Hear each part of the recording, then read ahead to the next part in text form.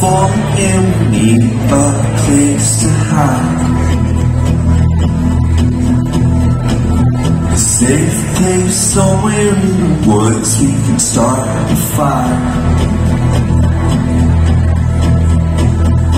All we know is what will be our home. We will stay till break of dawn